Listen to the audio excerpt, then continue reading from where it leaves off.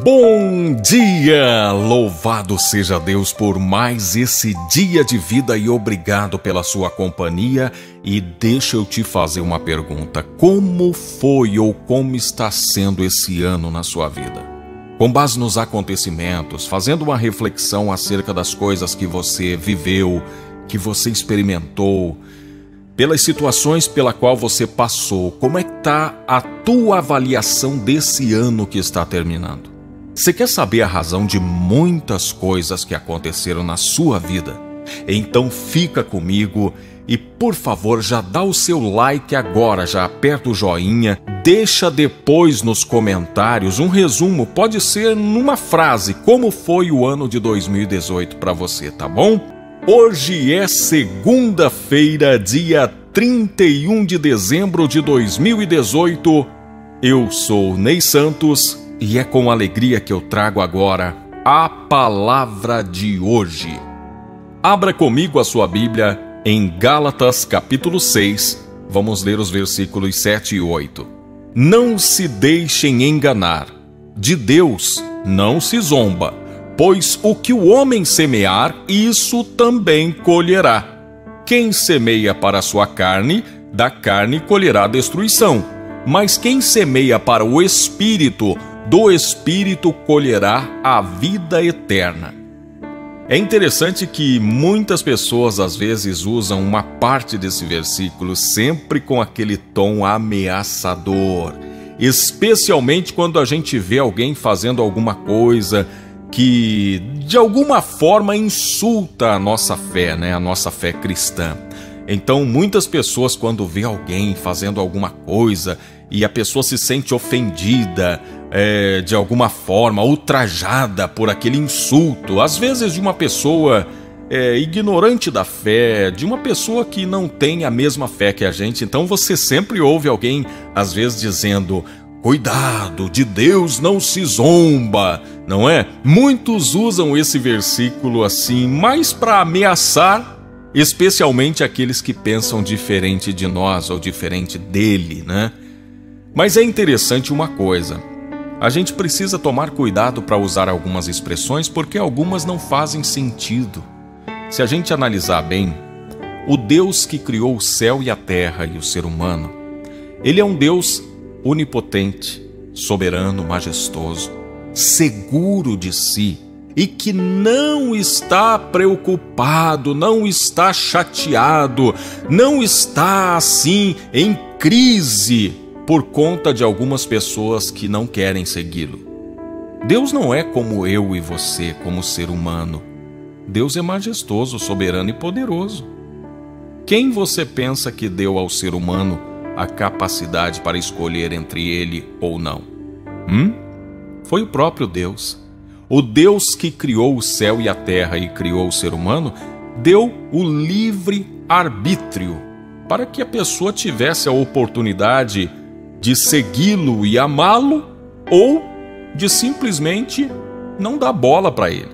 Você lembra quando Jesus enviou os 70, enviou aqueles discípulos para pregar a palavra? Lembra do que, que Jesus disse? Jesus disse para aquelas pessoas irem aos povoados e na cidade, no lugar onde os recebessem, para eles entrar lá, ficar lá e pregar o evangelho. E aqueles lugares onde as pessoas não o recebessem, era para eles ir embora daquele lugar. Não era para eles perder a paciência e ficar lá brigando com aquelas pessoas e obrigando aquelas pessoas a receber a mensagem que ele mandou. Não. Jesus simplesmente disse: no lugar que receberem vocês, entrem, fiquem, comam, fiquem ali. No lugar que não receberem vocês, vocês vão embora. Jesus é bom demais para ter que ser enfiado goela abaixo de pessoas. É por isso que a gente tem que ter certa tranquilidade e saber que Deus, ele se apresenta, se revela a nós e a toda a humanidade por meio da sua palavra, e ele faz um convite. O convite dele é simples. Se vocês quiserem experimentar ou comer o melhor dessa terra, venham a mim, fiquem comigo. Agora, quando as pessoas falam do versículo que nós lemos aqui, de Deus não se zomba, elas esquecem às vezes de completar o versículo e trazer uma parte que eu tenho por mim que é uma das partes mais importantes. Não é a primeira parte. A segunda parte é uma das mais importantes, porque o apóstolo escreve assim: Pois o que o homem semear, isso também colherá. Esse é o momento em que esse versículo nos convida ou nos chama a refletir sobre um princípio muito básico da nossa existência humana. Que princípio é esse? O princípio da semeadura e colheita. Eu entendo que o princípio imediato da semeadura a qual Paulo estava se referindo tem a ver com o investimento dos fiéis na vida dos que o instruiu, ou seja, na vida dos ministros da palavra. Porque no versículo 6 está escrito assim: O que está sendo instruído na palavra, partilhe todas as coisas boas com quem o instruiu. Tá? Então, o princípio imediato do versículo, Paulo está falando sobre honrar e dar condições aos líderes que estavam instruindo aquelas pessoas, condições de subsistência, honrar, dar condições para que os líderes tivessem o seu sustento, porque eles estavam se empenhando, se dedicando ao estudo e ao ensino da palavra. Porém, é possível usar esse princípio para outras áreas da nossa vida. Me permita lhe perguntar uma coisa: o que é que você colheu ao longo desse ano? Você colheu amargura, tristeza, angústia? Ou você colheu alegria, felicidade, é, realizações? Faz uma análise, o que é que você colheu ao longo desse ano? O que é que você viveu? O que é que você experimentou? Olha, uma coisa é certa. Boa parte daquilo que nós colhemos são coisas que nós semeamos. Ah, mas eu estou enfrentando uma crise muito grande e eu só fiz uma continha pequenininha. A gente tem que tomar cuidado, porque a semeadura, você semeia uma semente, ela às vezes se transforma em várias sementes, às vezes numa espiga e até numa árvore. Assim como quando você semeia uma coisa boa, ainda que seja pequena, você colhe uma coisa boa grande ou abundante, também quando você semeia uma pequenina coisa má, aquilo pode frutificar e depois você ter que colher algo muito grande e muito mal. Então a gente tem que ter atenção naquilo que a gente está semeando. É claro que tem coisas que fogem ao nosso controle. Às vezes, mesmo você semeando uma boa semente, pode nascer umas ervas daninhas indesejáveis. O joio pode vir para o meio do trigo, mas a maior parte das coisas que nós colhemos somos nós mesmos que semeamos. Por isso, o apóstolo diz: Quem semeia para a sua carne, da carne colherá destruição, mas quem semeia para o espírito, do espírito colherá a vida eterna. Então, deixa eu te trazer agora um último conselho nesse último dia do ano. Não gaste o seu tempo agora chorando o leite derramado. Vamos agora nos concentrar em semear coisa boa eu não quero aqui ficar pensando nas coisas más, nas situações ruins que você viveu ao longo desse ano.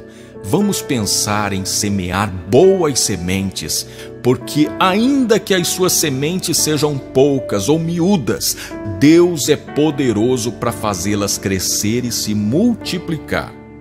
Eu tenho, por exemplo, aqui para te dizer e mostrar eu comecei o ano de 2018 no mês de março semeando a palavra e olha que interessante, a minha primeira palavra que foi semeada nesse contexto que a gente tem diário aqui foi num sábado, dia 10 de março de 2018. Essa primeira palavra teve 1.362 visualizações. Hoje, nós conseguimos atingir mais de 40 mil pessoas diariamente. Então, a semeadura começa pequena, mas depois ela vai aumentando e crescendo. E é claro que quando você está plantando coisa boa, você vai encontrar parceiros e parceiras, pessoas que vão te ajudar. Então confie e semeie aquilo que você tiver de melhor, porque ainda que a sua semente seja pequenina, Deus vai fazê-la crescer e se multiplicar. E fuja das más semeaduras, fuja das coisas más, não pague o mal com o mal, porque assim você vai fazer o jogo do inimigo e o interesse dele é destruir você. Que você possa ter capacidade e sabedoria para semear coisas boas. Olha, nós vamos ter um momento de oração, mas antes deixa eu te pedir um grande favor. Amanhã, dia 1 de janeiro, começa a nossa campanha 12 dias de clamor por 12 meses de bênçãos. Será de 1 a 12 de janeiro, nós vamos orar cada dia por um mês desse ano. 12 dias de clamor por 12 meses de bênçãos. E eu quero desafiar você a convencer pelo menos 12 pessoas a ver pelo menos o primeiro dia da campanha. E depois ela que se decide, tá bom? Mas convença 12 pessoas a acompanhar conosco o primeiro dia da campanha, que é amanhã, tá bom?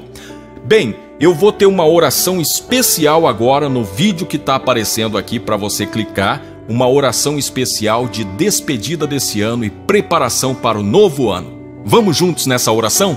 Clica aqui então.